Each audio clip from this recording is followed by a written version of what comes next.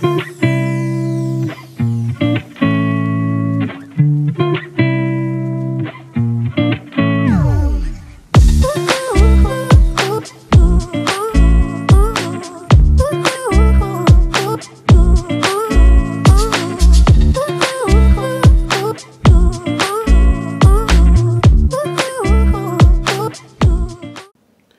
hello, and welcome to this episode of Learn Everyday English, your roadway to English proficiency.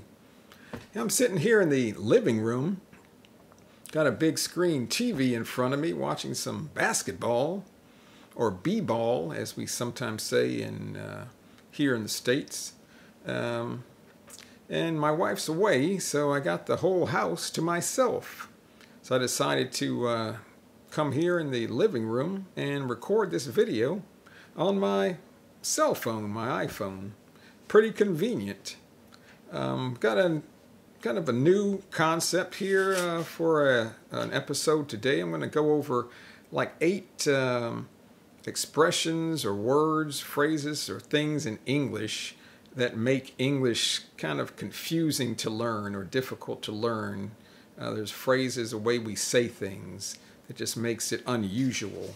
But before I jump into that or get into that, or that means before I go there or talk about that, you know, there's three things that you can do for me. Hey, like the video, subscribe to the channel, and three, tell your friends about it so that they can benefit from these videos too. Hey, just like you. Hey, uh, by the way, did you see my last video or Depends on when I load this video up. The video I was talking in Spanish, hablando en español. I did that. Hopefully that will give you some encouragement to see that I'm in the same boat as you. I'm in the same boat. That means I'm doing the same thing, trying to learn the language like you. I know the ups and the downs and how difficult it difficult it can be. And um, so just hang in there keep uh, doing what you're doing, we say in English, as my dog barks in the background. And uh, you'll get there. You'll get there. But I'm going to go over some uh, things in English I think you might find interesting and hopefully you'll find helpful and find useful. So the first couple things I want to talk about has to do with uh, English pronunciation and how it can be pretty confusing. So we have, I want to give you three words. The first word is spelled F-L-O-W-E-R. The second word is spelled F-L-O, F-L-U-O-R. And uh, those two words, how do you pronounce those two words? Do you know? Are they pronounced differently or are they pronounced the same? Well, actually, F-L-O-W-E-R is pronounced flower and F-L-U-O-R is also pronounced flour. And F-L-U-O-R is flour is what you make bread out of. And you know, flower is what grows, say, in the in the garden. So they're they're spelled differently, but they're pronounced exactly the same, flour. But then we have the word F-L-O-W, F-L-O-W. How would that be pronounced? Is it pronounced flow, like flour? No, it's pronounced flow, flow. And it's a flow is like the movement of something. The river flows, the water flows down the river, or the river flows down the uh, through the state. So flow, it's flow. So flower and flow. The second um, thing I want to talk about are three other words. The first word is W-I-T-H. The second word is W I D T H. How are those pronounced? Are they pronounced differently? Is it pronounced the first one pronounced with, and the second one second one is pronounced with, with with. Well, actually, they're and when we say these words in English, we pronounce them exactly the same. With, the with. I'm going with my friend to the store. And what is the width of your shoe? What is the width or how wide is something? The width is how wide. But they're pronounced the same. How about this word, W-I-D-E? How do you pronounce that? Is it wid, witty, or wid? No, it's pronounced wide, wide. So that's what makes English kind of confusing. Uh, the next example is uh, has three uh, words as well. The first word is spelled W-H-I-C-H. The second word is W-I-T-C-H. How are those pronounced? Is the first one pronounced witch, which, which, and the second one is pronounced which, which. Well, actually, if you didn't guess by now, the first two are pronounced exactly the same. Which, which. For example, the first word, hey, which uh, sandwich do you want? Which sandwich do you want? The second word, W-I-T-C-H, is witch is a type of um, uh, woman who may cast spells, we say, has may wear a pointed pointed hat, fly on a broom or a broomstick, have a magic wand. That's a witch, but they're pronounced the same. And this third word is S-A-N-D W-I-C-H. How do you pronounce that? It's pronounced sandwich, sandwich, and sandwiches is something you eat. It's made with bread, and in, the in between the bread is usually some type of meat, and we call that a sandwich.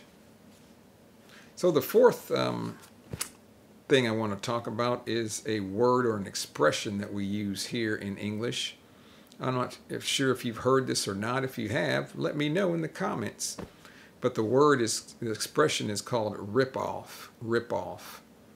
So to rip off can mean like to tear something from something else. I ripped, so I ripped my shirt off. I opened my shirt and threw it away. I could rip it off. Or um, maybe I have a bandage, bandage on my hand. I take it off and I rip it off that could be a rip off.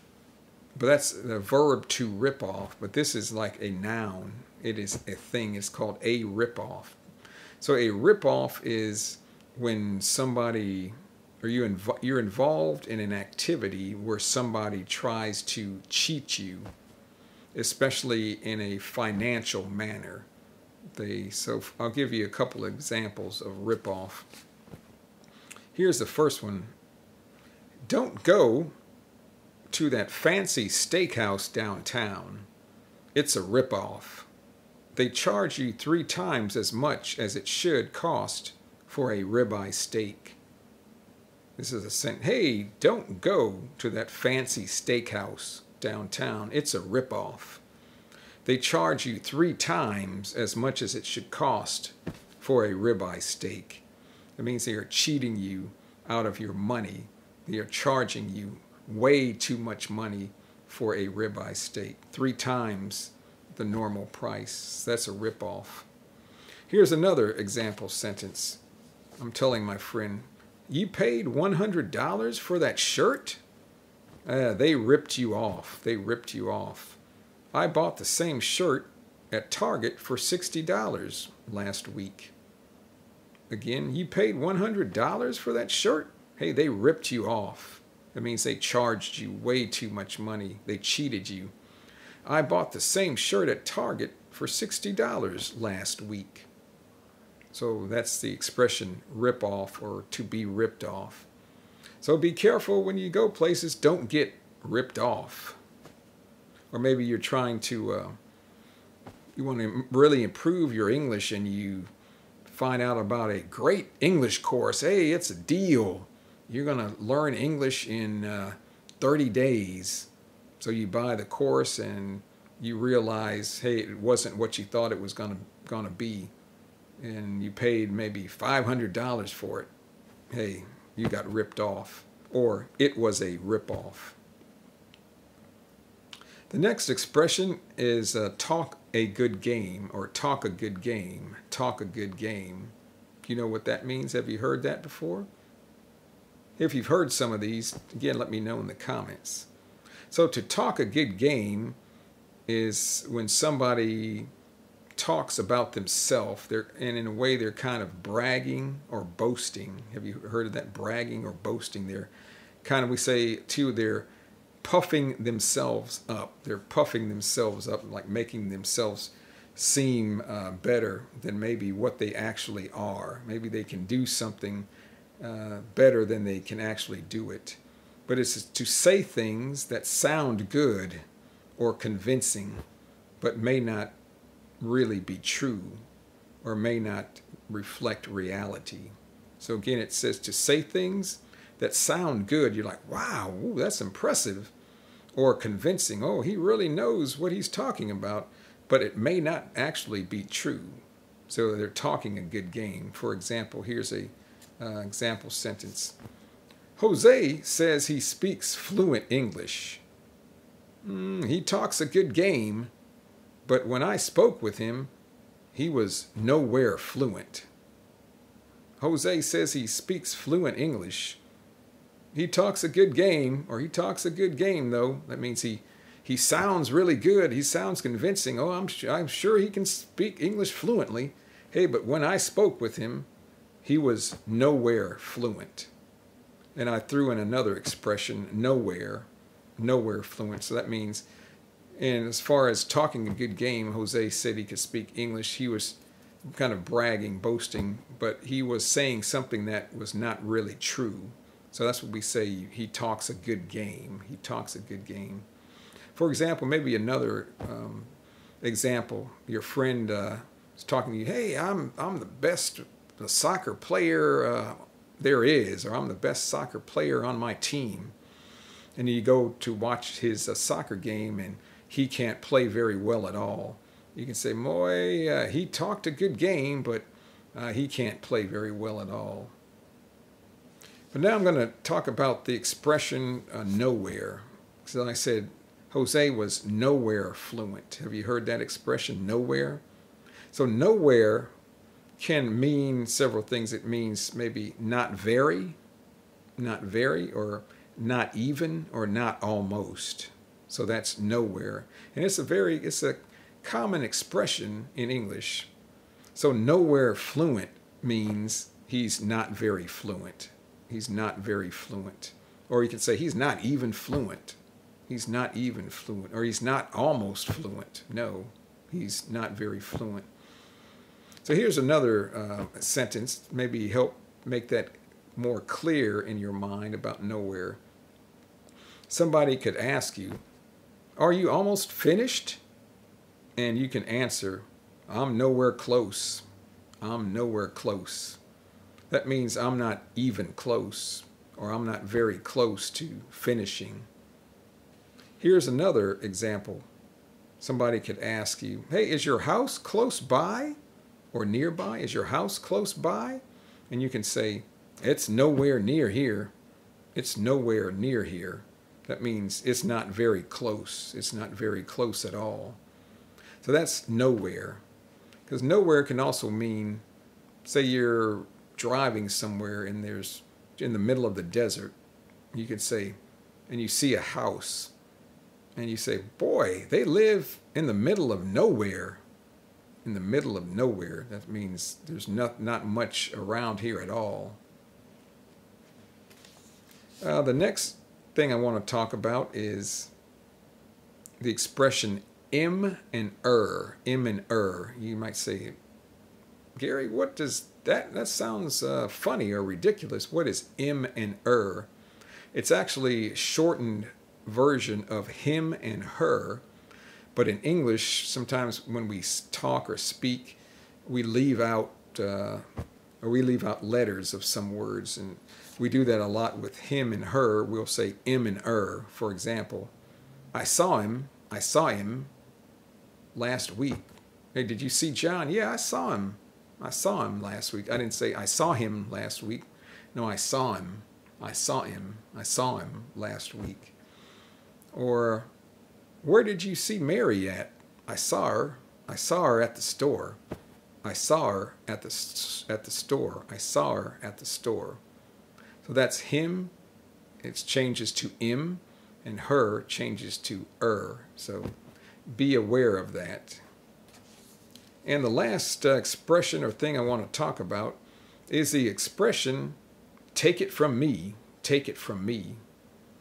And to take something, it can be like I have these papers and I say, hey, take, take it from me. That could be somebody, he took the papers from me.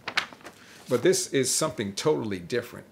So take it from me is something that I say when I want to emphasize what I'm saying is true.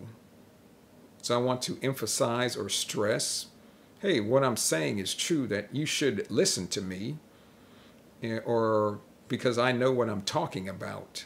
Or another way to say it maybe take my word for it. Hey, take it from me. Take my word for it. Listen to me. For example, I could tell you your car has some problems. You want to take it to uh, John, who's a mechanic. I said, hey, take it from me.